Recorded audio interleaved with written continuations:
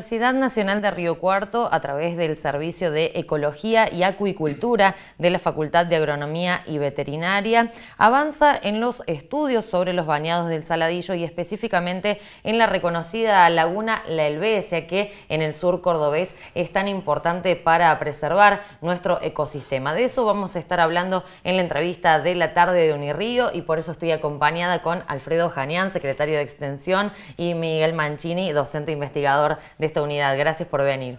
Buenas tardes, muchísimas gracias a vos por la entrevista. Bueno, gracias. gracias por la invitación. Gracias por participar y por mantenernos al tanto de cómo vienen trabajando. Profesor, eh, le doy el pie para que nos cuente cómo viene trabajando el equipo, ya que le comentamos a quienes nos están mirando, se ha conformado un grupo específicamente para estos estudios, para estas investigaciones. Sí, los bañados del Saladillo en general y la Helvecia en particular hace muchos años que se vienen evaluando. Eh, no solo desde la Facultad de Agronomía y Veterinaria, también por ejemplo del Departamento de Geología, del Departamento de Ciencias Naturales. Recordemos que es un área muy emblemática por la gran biodiversidad que tiene. Con el transcurso del tiempo bueno, han sufrido distintos procesos, sobre todo ligado a la ganancia de tierra para la agricultura y la ganadería, que han dejado sin agua algunas lagunas, entonces bueno, la superficie se ha ido modificando, las actividades del hombre también han ido modificando parte del paisaje y bueno, todos esos sucesos hemos tratado de reflejarlos en los últimos estudios. Nosotros venimos trabajando desde el año 2011 y bueno, en el taller que se hizo la semana pasada fue el, viaje número 53, eh, el viaje de campo. Eso refleja que llevamos muchos años de estudio. Quizás lo nuestro está más ligado a la calidad del agua y a la fauna de peces. Pero bueno, insisto que hay otra gente de la universidad y de otros organismos de la provincia que están trabajando en esa zona también. Profesor, eh, quienes recorremos frecuentemente esta zona, lo digo porque vivo cerca de allí también, eh, hemos notado que ha cambiado este ecosistema a lo largo de los años, se han conformado pequeñas lagunas alrededor de la Helvecia debido a las intensas lluvias, a las crecientes del río Cuarto también, e incluso eh, se comenta que se han multiplicado las especies. ¿Cuáles son algunos de estos cambios que usted técnicamente me los puede explicar? Sería bastante largo hablar del tema, eh, cuando se habla de especies, eh, hay que pensar en qué comunidad. Nosotros trabajamos con peces. Eh, en lo que es peces específicamente, del primer muestreo que hicimos en noviembre del 2011 hasta la fecha, nosotros encontramos nueve especies y actualmente están registradas 17 especies de peces. Entre ellas algunas de mucho interés porque bueno, la Albesia fue la primera laguna a nivel geográfico en el sur de la provincia de Córdoba, donde por ejemplo se registró la presencia del dorado, la presencia del sábalo, que es una especie muy emblemática, las dos son, la presencia de otra especie que es el porteñito vagarito, que es casi nueva en Córdoba. Entonces, bueno, todo ese flujo de información lo hemos ido tratando de reflejar en tantos años de estudio y a su vez las grandes variaciones de agua que tuvo la laguna. Eh, de los registros de mínima y máxima profundidad que medimos en uno de los muelles, que está ubicado en la costa de la laguna, eh, la profundidad ha variado de 20 centímetros a 1,30 metro. 30. Eh, ese metro 10 de diferencia habla las claras, las grandes modificaciones del volumen de agua que tuvo. Eh, secretario, ¿por qué es importante que la universidad se involucre en el entorno, en este caso de estudiar eh, nuestro ecosistema? Eh, ¿Qué tan importante es para el sur cordobés? ¿no? Y por eso llama la atención de múltiples investigadores, no solamente de nuestra provincia, sino también a nivel nacional. Sí, convengamos y tenemos mm, referencias claras que la Universidad Nacional de Río Cuarto es referente en el centro sur de la provincia de Córdoba. Por dadas las características de sus profesionales, de, sus componentes en, su, totalidad, es importante que estemos involucrados con el medio.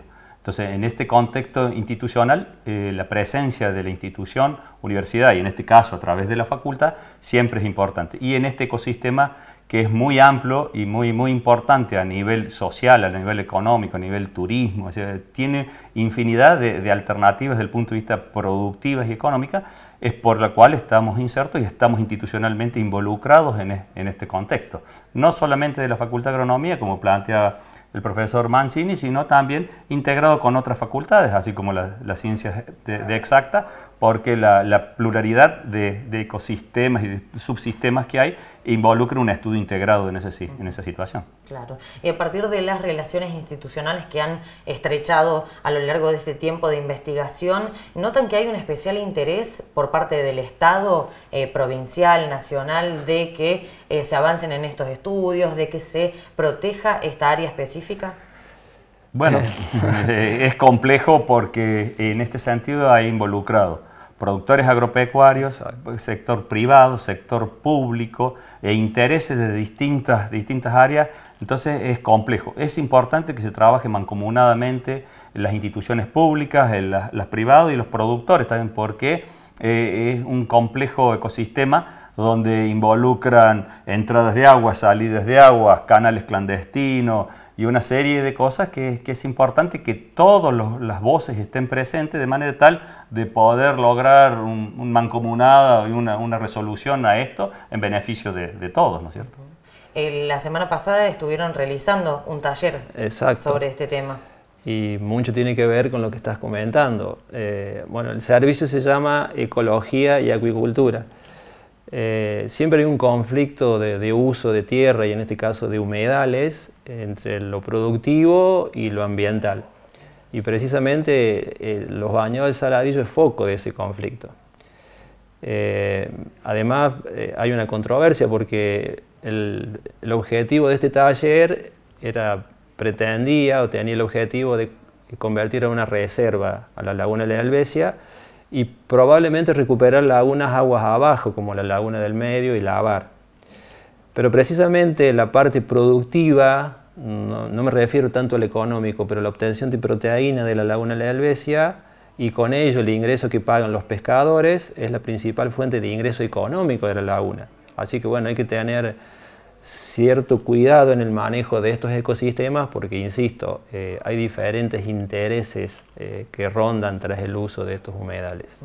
Y esta actividad se realizó la semana pasada allí mismo, en, esta zona, en la Laguna de Helvecia. Coméntenos qué se vivió un poquito ahí, qué, fue, cuáles fueron los ejes que formaron parte del debate. Sí, este, este taller es con horario del, del, trabajo que plantea el profesor Mancini después de, para presentar todo el, todo el trabajo realizado por la institución y con su equipo de trabajo y organizado por el Club de, de Caza y Pesca de la Helvecia, con, con, el objetivo de fomentar y de, de, ver el potencial que tienen estos baños, no específicamente la Helvecia, sino todo su, el, el conjunto de, de laguna entonces, bueno, se presentaron esos trabajos junto con la participación de, otros investigadores, de otras ONG y también, obviamente, está involucrado el sector, político en pos de tratar de sacarle el, provecho y que nadie se sienta perjudicado en ese, en ese contexto.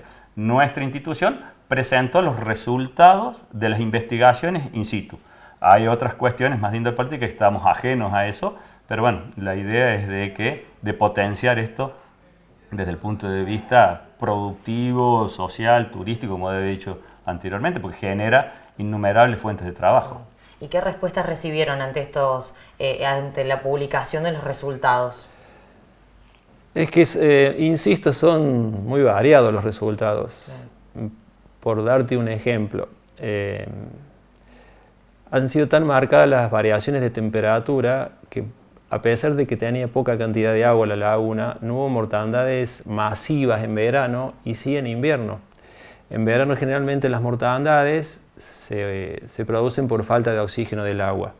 En este caso en invierno fueron por las muy bajas temperaturas, que no afectan a todas las especies, pero sí a las más sensibles al frío, como por ejemplo la vulgarmente conocido tararira, el sábalo. Pero no sucedió solamente en la Helvecia, sino que sucedió en un sinnúmero de lagunas pampeanas del, sur de Córdoba, incluso de Santa Fe. Entonces, si esa laguna tuviera un volumen de agua eh, constante, eh, mayor al que tiene actualmente, esas oscilaciones tanto de salinidad como de temperatura, incluso del mismo oxígeno disuelto, serían mucho menos marcadas. El objetivo de ese taller fue precisamente entre tantas otras cosas que se discutieron, es tratar de mantener eh, tanto el ingreso como el egreso eh, constante de agua de la laguna de la. Por eso se están realizando también muchas obras, tanto en lo que es el tramo inferior del río Cuarto como en el canal La Brava, que es el que trae el agua de la laguna La Brava y que continúa posteriormente hacia los bañados de saladillo. ¿Y cómo está la situación con respecto al pejerrey, que es una de las especies eh, famosas, digamos, de, esta zona? Y precisamente porque el, pejerrey fue la, especie que convocó en el 2011 el primer estudio. En ese momento había una población en baja numerosidad y si bien había ejemplares de buen tamaño y calidad, eran muy pocos. Eh, lo que hemos hecho año tras año es un censo con los pescadores. Cuando se llega a una cantidad determinada de captura, se hace una veda y bueno, con eso se protege el stock para futuros años. Incluso se hace una veda por desove y bueno, eh, y también hemos hecho estudios de lo que rinde una laguna pampeana en producción de pejerrey en kilos por hectárea por año. Así que bueno, todo ese caudal de información fue lo que expusimos eh, específicamente en el taller. ¿Y qué beneficios traería a la región de que finalmente se pueda concretar este proyecto de que se eh, convierta esta zona en una reserva? Bueno, es, es, muy, muy importante en este, en este sentido porque beneficiaría a un importante número de, personas y de gente que, que, quiere ir en pos de mantener también este, estos bañados y que no sean desbastados, sino que tenga un manejo adecuado de manera tal de mantener algo que naturalmente eh, está. Entonces eso genera también mano de obra, genera recursos a, las distintas localidades de, la región, así que creo que eso es importante. Coqui, ¿podés hacer algún otro aporte más específicamente técnico quizás? Sí, seguro. hay muchos, eh, muchas organizaciones trabajando, eh, universitarias, gubernamentales, ONG, hay distintas comunidades, por ejemplo las aves son un componente muy importante de estos humedales, entonces quizás el el próximo paso a dar es eh, mancomunar toda esa gente, poner sobre la mesa cuáles son los principales objetivos e ir delineando qué acciones a seguir, porque lo que implica una reserva es muy amplio. Eh, e insisto nuevamente, el, único ingreso económico que tiene la Helvecia en los últimos años ha sido la pesca deportiva. Entonces, bueno, hay que discutir una serie de cosas, pero el objetivo primario, insisto, es mantener el volumen normal de agua de esa laguna. Bien, ¿y qué opinan, por ejemplo, los municipios que están aledaños a la laguna, como ser Canals, Arias, Alejo Ledesma, eh, están involucrados también? Sí, tuvimos la presencia de autoridades electas que van a asumir en el próximo 10 de diciembre y estuvieron presentes en el taller y tienen, muestran un interés marcado en este, en este sentido, así que junto con la gente de la comisión organizadora del Club de Casi Pesca, están sumamente interesados en la participación institucional y en los, vínculos institucionales que podemos estar realizando para, para potenciar esta, situación. Un aspecto que, que, mencionaba el profesor Mancini tiene que ver que también estuvieron las ONG de, de, las aves, es potenciar esta situación de turismo, de aventura fotográfico, safari fotográfico. También es importante el tema de migración de aves que tienen una diversidad muy amplia en, aves acuáticas y de, de otra índole, trabajos realizados también por la universidad a través del profesor Brandolin, que es muy interesante, o sea que no solamente es la pesca, sino la posibilidad de potenciar algún otro tipo de, turismo fotográfico, que también es muy importante y un ecosistema este, de, sumo, de sumo interés, porque los bañados son muy, muy interesantes. Bien, qué Sí, perdón, profe. No, por favor. Quería decir algo. Incluso la propia pesca del pejerrey genera muchísimos recursos económicos en los pueblos lindantes a la laguna. En la actualidad hay pueblos que viven directamente de la pesca, guías de pesca, dato muy importante. familias ligadas a la pesca, hay un servicio de alquiler de botes, de, de fileteado de peces. Entonces, obviamente que los encargados de la gestión municipal o comunal, según donde esté ubicada cada laguna, están interesados porque es una fuente de ingreso eh, de, la región, seguro.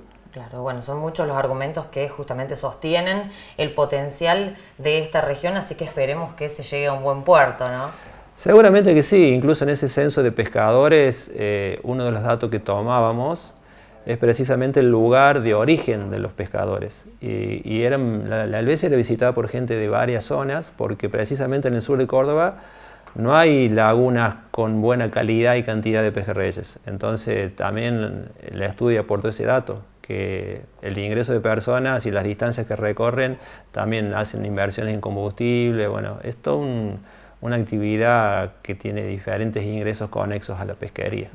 Proceso que lleva su tiempo, pero que ya estamos viendo resultados, ¿no? Así que esperamos que, que, sigan avanzando. Muchas gracias por haber venido, nos vamos a mantener al tanto seguramente, dentro de un tiempo los invitaremos nuevamente para que nos comenten las novedades sobre este tema.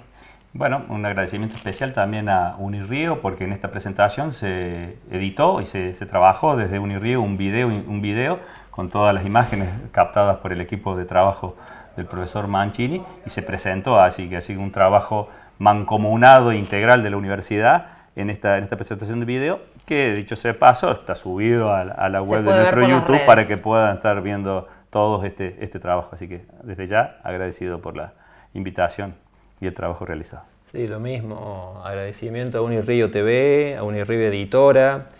Eh, hace mucho tiempo que trabajamos con ustedes, a Hoja Aparte, bueno, a toda la universidad, porque es un gusto, nos gusta trabajar con esto y ustedes colaboran mucho con ello. Muchas gracias. A nosotros también nos gusta visibilizarlo. Gracias por venir. Al contrario, muchas gracias. De esta manera, entonces repasamos en, qué situación se encuentra la laguna La Helvecia, si es posible crear una reserva, un área protegida en esta región tan importante para el sur de la provincia de Córdoba. Vamos a hacer una pausa y ya volvemos con más información.